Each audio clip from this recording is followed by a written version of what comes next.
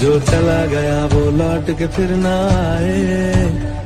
तेरा कर्म ही है जो संग तेरे ही जाए। मन पावन हो गंगा में डूबे नहाए।